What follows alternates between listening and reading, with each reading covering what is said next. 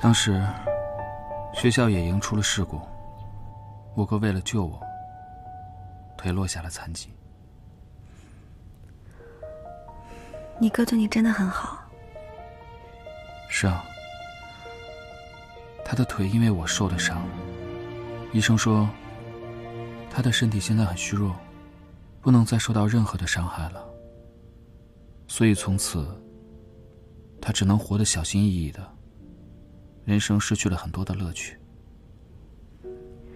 那只是一个意外，你大哥不会怪你的。是的，我知道我哥不会怪我，但是，我总觉得我欠他太多太多。当年我在病房就发誓，不会再让他的人生有任何的残缺。他是一个好哥哥，你也是一个好弟弟。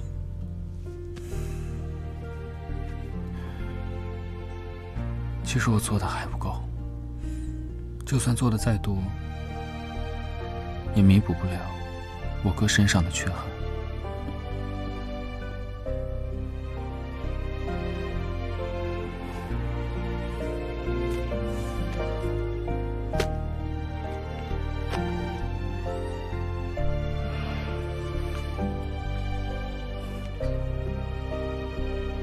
实每个人的人生。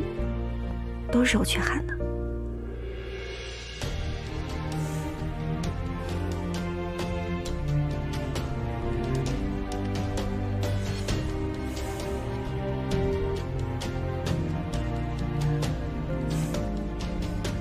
但我自从遇到了你，人生就圆满了，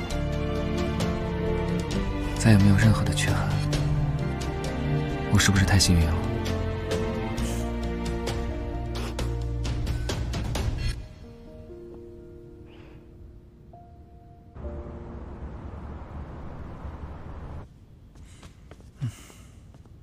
这个口红是谁的？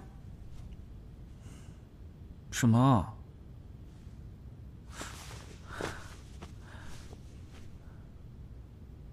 我不知道啊。那我去问问陆管家。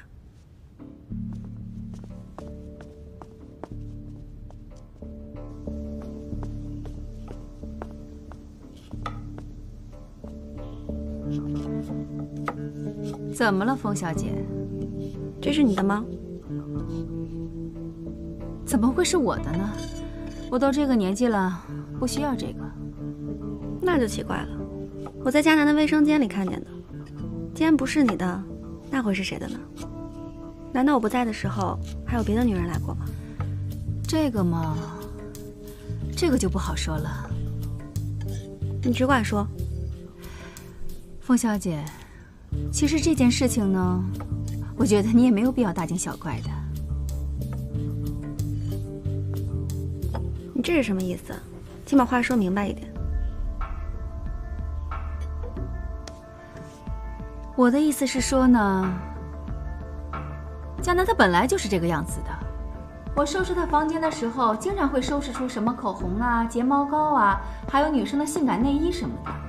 你不是他第一个留宿的女人，应该也不是最后一个。他竟然是这样的人吗？那你以为他是什么样的人？陆阿姨。你胡说什么呢？我不是这个意思，不是这个意思。你为什么要这么说我？我我就是随口说的，你别当真什么时候带过别的女人回过家还留宿？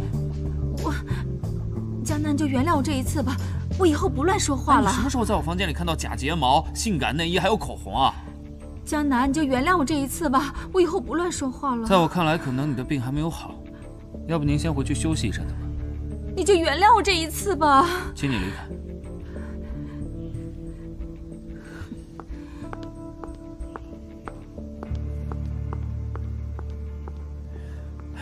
平，你听我解释，真的不是他说的那样的，他绝对在撒谎，我从来没有啊！